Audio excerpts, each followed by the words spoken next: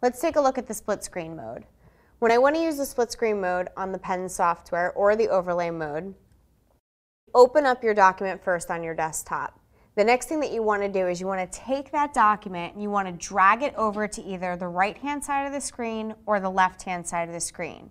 Not towards the top because what will happen is the image will expand over the whole screen. So if I take my document and I drag it over to the right, now it will auto fit that document on the right hand side of my screen so that when I open the pen software and I have my split screen mode selected, the screen now splits right in half. I have my pen software on the left hand side, which enables me to take some notes.